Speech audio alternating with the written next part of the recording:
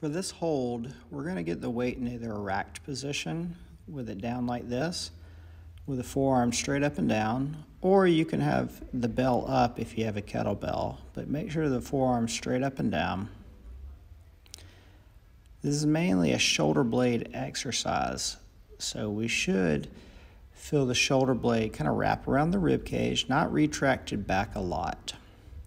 You should feel the lower trap area down low and not the neck tighten. Make sure we feel muscle with this. The main purpose of this is to be able to get shoulder blade stability after we get the motion without having the neck engaged too much. So we shouldn't feel neck or shoulder joint. You should feel pretty relaxed after this, especially in the neck area. Now you can either do this standing, seated, or walking with a weight.